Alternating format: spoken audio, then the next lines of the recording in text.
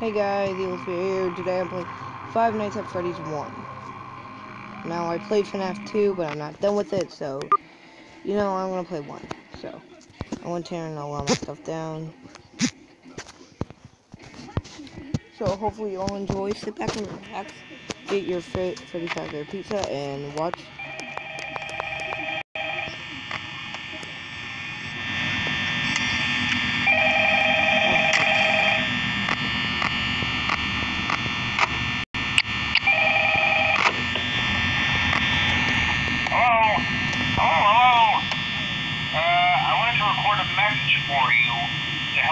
settled in on your first night.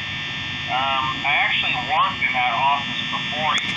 I'm finishing up my last week now, as a matter of fact. So I know it can be a bit overwhelming, but I'm here to tell you there's nothing to worry about.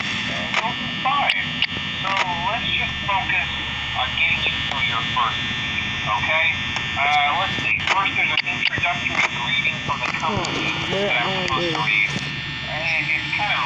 thing, you welcome to Pizza, a magical place for kids and grown-ups alike, where fantasy and fun come to life. Entertainment is not responsible for damage to property or person.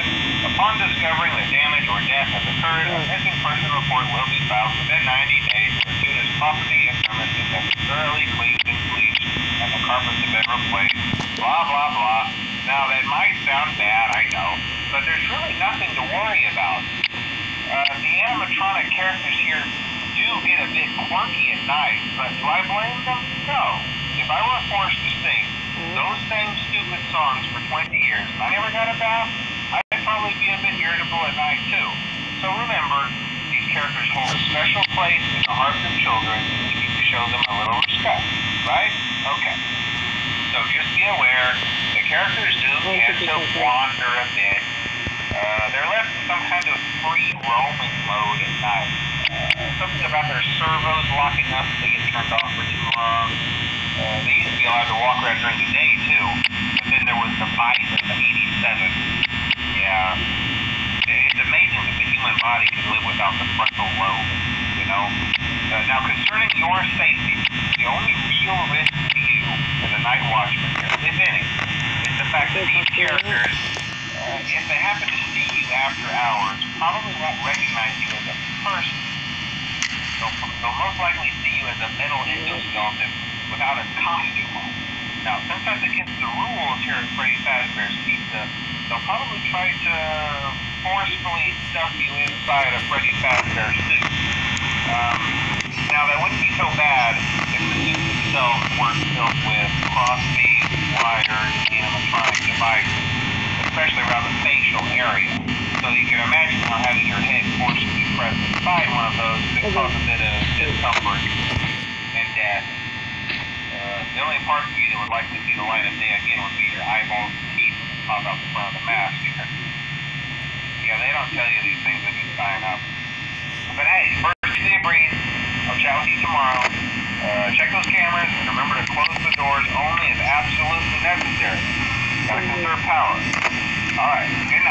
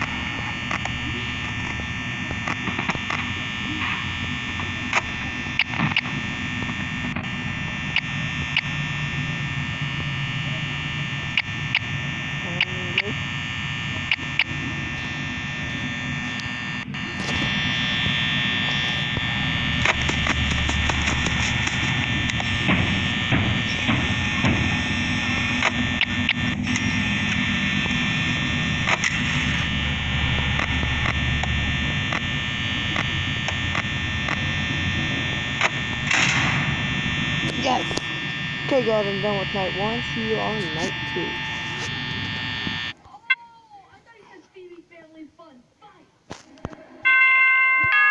So, thank you for watching, and goodbye.